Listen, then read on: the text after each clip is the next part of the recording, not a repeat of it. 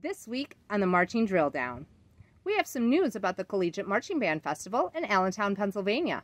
And I'll tell you all about Phantom Regiment's show from 2003 that they revisited for the 2021 season. All that and more now on the Marching Drill Down.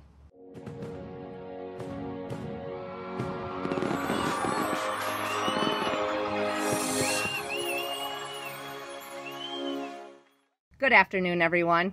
I'm your host, Nikki Brose. I'm originally from Rockford, Illinois, the hometown of what corps? The Phantom Regiment. I was born and raised in the Phantom Regiment Drum and Bugle Corps, and I marched in the Phantom Regiment Cadets from 1993 to 1997, and in the Phantom Regiment from 1998 to 2004. After marching drum corps for so long, I kind of ran away for a little while, and I now reside in Southern California with my husband, two kids, and four dogs. And in the drum corps world, I do Nikki's Lost DCI Years on YouTube, and I do old school videos and stories on Instagram. The DCI tour has come to an end this last week, and it sure was a memorable one. While the tour was shortened due to the ongoing pandemic, corps from across the country still had a chance to perform for fans. While some corps opted to not participate in the celebration this year, a good chunk of corps still performed. While there was no competition this year, fans still had a chance to decide which was their favorite show from 2021.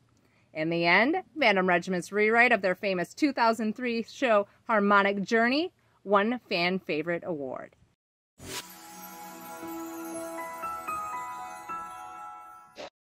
Vivace Productions just announced the 25th annual Collegiate Marching Band Festival.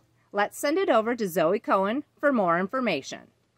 Hello, everyone. Zoe is currently working hard with the Minuteman Marching Band during their band camp. My name is Matthew Zemba, and I will be talking to you about the 25th Annual Collegiate Marching Band Festival. Hosted by Vivace Productions, the festival brings college marching bands to the historic J. Birney Crum Stadium to perform for fans of all ages. This year, the festival will be held on October 3rd. Some bands that will be featured include Shippensburg University, Boston College, University of Delaware, West Chester University, Morgan State University, and Widener University. Tickets are $20 for adults and $15 for students in kindergarten through 12th grade. Now, back to you, Nikki.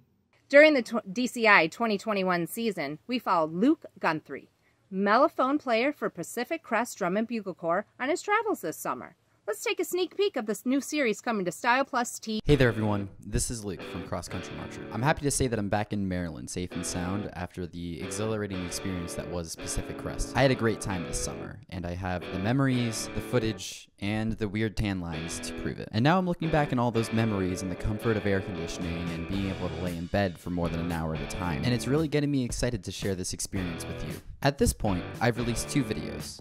I've released a video of me packing, showing everything that I'm going to be taking, and I've also released the first leg of my journey, which is basically through the Appalachian Mountains. Here's a couple clips from that. Slim Jims, Nutty Buddies, Pop Tarts, Swedish Fish, Bubblegum, Old Bay, toothpaste. Yeah, I was going to say San Jose Raiders. I marched them in uh, 84 and 85. Oh, really? Yeah.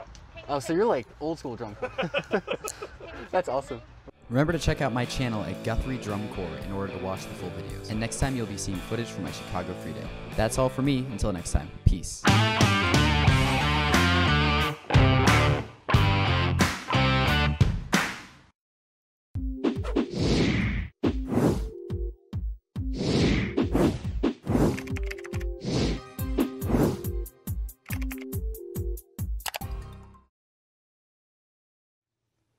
Marching Drill Down correspondent Grantis Pernanda recently reviewed Style Plus's Grip Factor gloves for Scholastic and World Color Guards. Let's take a sneak peek of what he had to say about the gloves. Grantis? If you're looking for a guard glove and want to try something new, then check out the Grip Factor from Style Plus. So we have these gloves. They look like standard color guard gloves. So the first thing I notice is that they're pretty light.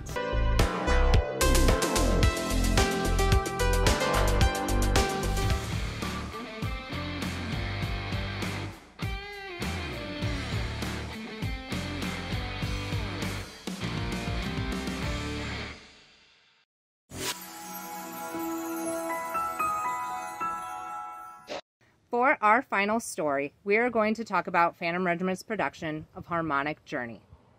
To be part of the original production of this is a feeling like no other in this world. Now, I don't think one of us marching that summer knew that this show was going to have the impact on the drum corps community that it has today. For them to redo that show because it was so popular is a feeling like no other. We were just there to have a good time that summer. We had a good vet base going on from 2001, 2002 in the horn line and drum line, or I'm sorry, in the horn line and color guard. And then we had a whole new drum line and drum staff come, and the three sections just fit together. And while our harmonic journey was a little bit darker version, I think it's like night and day. We were the dark, you know, with the dark color guard uniforms. We had the dark flag colors. And this year, the 2021 version is like the light, the pop of color, the uh, pinks, the fuchsias, the blues, the purple in the Lord's Prayer flag, the pink and orange flags. They were just beautiful. Everything about it was beautiful. The the props that they used was a whole different theme of what we even considered. But at the same time, they still stayed true to Phantom and doing little, you know, nods to the 2003 show. They had like the little rifle pod, which was also reminiscent of the saber pod in the closer. They had the wedge. They had the turn. They had the famous, what people call the little jump step, which is actually called a pas de chat. They had that in there. They had the color guard running their butts off in the end. And they also had my infamous ending drops, flums, flips, them damn thumb flips. Am I crying? And they redid it in 2021. And it couldn't have made me a happier alumni of the Phantom Regiment. So on that note, that's it for today's broadcast. I've been your host, Nikki Brose. Be sure to check out this week's episode and more at Style Plus TV. We will be back next week for more exciting news. Until then, have a great weekend.